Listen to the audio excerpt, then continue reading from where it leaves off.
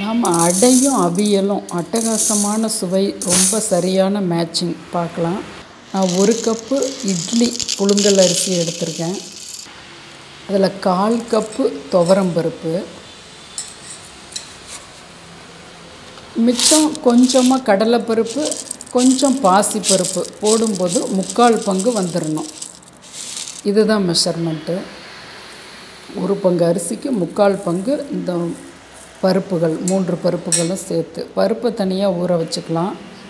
அரிசியை தனியாக கழுவி களைஞ்சி தண்ணியை ஊற்றி வச்சுக்கலாம். இந்த அரிசி மூணு மணி நேரம் ஊறணும்.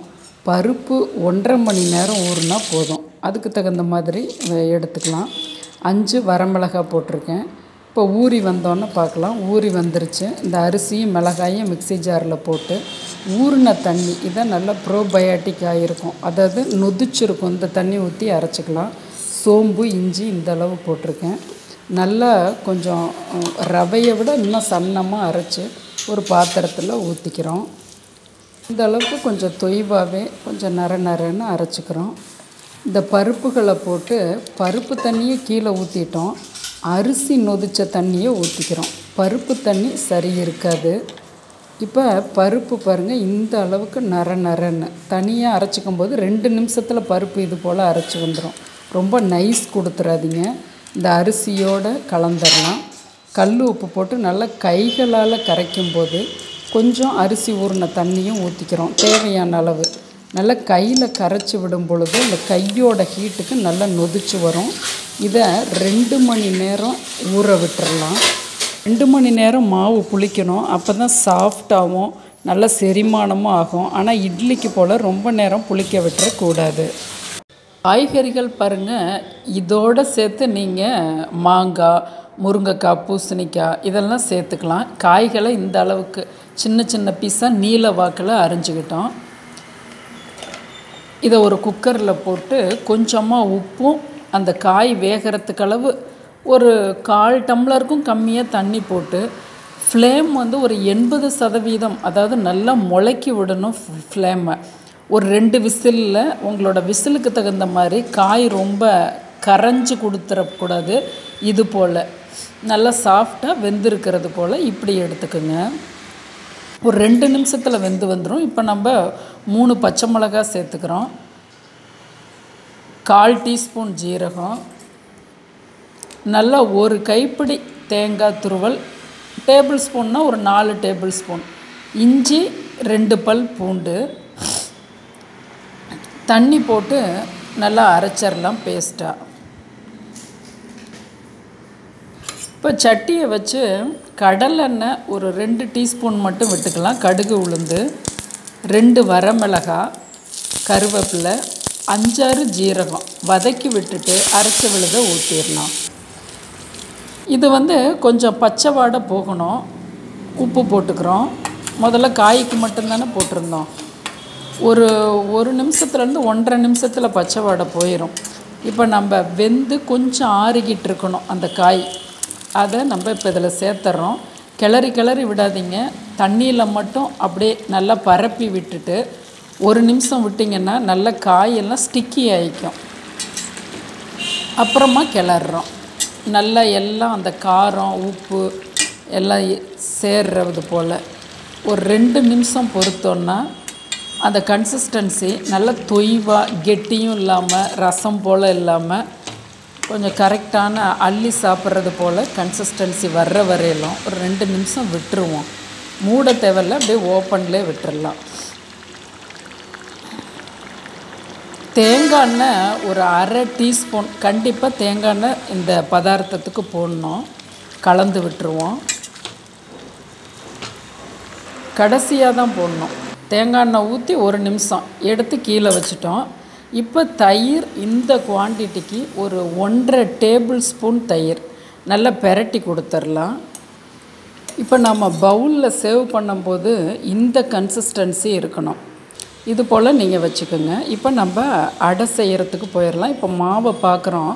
ரெண்டு மணி நேரம் கழித்து இந்த பெரிய வெங்காயம் இந்த அளவுக்கு வறுத்த வேர்க்கடலை தேங்காய் பல் சின்ன சின்னதாக வெட்டினதை கலந்துக்கிறோம். நீங்கள் தேங்காய் பூவாக கூட போட்டுக்கலாம். இந்த மாதிரி சின்ன தேங்காய் துண்டுகள் போடும்போது ருசி அட்டகாசமாக இருக்கும். மென்று சாப்பிடும்போது. இப்போ இன்னும் கொஞ்சம் தண்ணி போட்டுக்கலாம். அதாவது தொய்வாக இருக்கணும். மாவு ரொம்ப நீர்க்கவும் இருக்கக்கூடாது கெட்டியாகவும் இருக்கக்கூடாது. அப்போ தான் நல்லா உள்ளார்ந்து வேகும். இப்போ நல்லா ச நல்லா கல் வந்து சூடு ஏறணும் நம்ம ஊற்றும் போது மாவை பாருங்கள் பெரிய குழிக்கரண்டிலே நான் ரெண்டு கரண்டி ஊற்றுறேன் பெரியவங்க சாப்பிட்றது ரெண்டுக்கு மேலே சாப்பிட முடியாது கண்டிப்பாக இது இப்போ இந்த குவான்டிட்டிக்கு ஏழு அடை வரும். லைட்டாக இப்படி நல்லா பரப்பி விட்டுட்டு எழுபது சதவீத ஃப்ளேமில் வைங்க. ஃப்ளேம் உங்களோட கல் எந்த அளவுக்கு இருக்கோ அந்த அளவுக்கு மட்டும் நிரவி விடுங்க. கொஞ்சம் அந்த மாவு எவாபரேட் ஆனோன்னு இப்படி சின்ன சின்ன அழுத்தி ஓட்டை அப்படி போட்டிங்கன்னா அதுக்குள்ளே எண்ணெய் விட்டுக்கலாம். கடலெண்ணெயில் செய்யும் பொழுது தான் ருசி அட்டகாசமாக இருக்கும். நல்லெண்ணெயை விட கடலெண்ணெய் நல்லாயிருக்கும் இதில் வந்து கொஞ்சம் தாராளத்தை நம்ம காமிக்கணும். கலோரியெல்லாம் நம்ம இதில் பார்த்துட்ருக்க முடியாது. நல்லா தாராளமாகவே எண்ணெய் விட்டுக்கணும். ரொம்ப சிம்லையும் வச்சிடாதீங்க. ரொம்ப முளைக்கி விட்டுறாதீங்க. கொஞ்சம் நம்ம பொறுத்து தான் இதை வேக விட்டு திருப்பி போடணும்.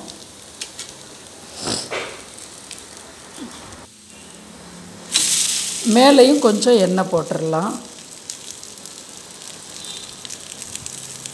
நல்லா அடிபாகம் டாட் டாட்டாக சப்பாத்திக்கு போல் கருப்பு கருப்பாக ஆனதுக்கப்புறம் நீங்கள் எடுத்து சாப்பிட்ற தட்டில் வச்சுருங்க.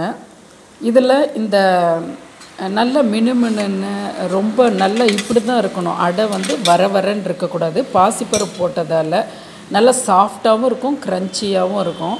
நம்ம அவியலோட வெல்லம் கூட நல்லாயிருக்கும் கொஞ்சம் இது மேலே வெண்ணெயை தடவி அந்த வெல்லத்தையும் சேர்த்து சாப்பிட்டிங்கனாலும் அட்டகாசமான சுவையாக இருக்கும்.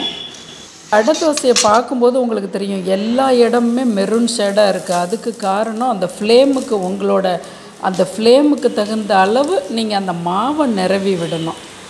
அதாவது ஒவ்வொரு காயையும் ஒரு ஒரு வில்லலுக்குள்ளே வச்சு அப்படியே சாப்பிட்றது. ரொம்ப அட்டகாசமாக இருக்கும்.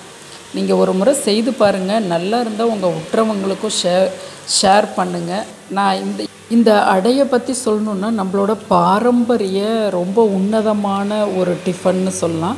ஏன்னா கார்போஹைட்ரேட் அரிசி கம்மி புரதங்கள்னு சொல்லக்கூடிய அத்தனை பருப்புகளும் சேருது. டைஜஷனுக்கு ஏதுவாக இருக்குது இந்த அவியலை நம்ம கூட சேர்க்கும் பொழுது இந்த காய்கறிகளில் பாருங்கள் அதாவது நல்ல விட்டமின்ஸ் இருக்குது மினரல்ஸ் இருக்குது நமக்கு தேவையான அத்தனை சத்துக்களும் இருக்குது கண்ணுக்கும் குளுமையாக இருக்குது இதை இந்த பதார்த்தத்தை அதாவது அடையும் அவியலையும் எந்த வெதரில் வேணாலும் உங்களுக்கு சூட் ஆகும் உடம்புக்கு. அதாவது வெயில் காலமாக இருந்தாலும் இந்த காய்கறிகளால் உங்கள் உடம்பு நல்ல கூலிங் இருக்கும். காலங்களில் இந்த க அவியலை விட இந்த அடை வந்து உங்களோட உடம்புக்கு நல்ல ஒரு வெதுவெதுப்பை தரும்.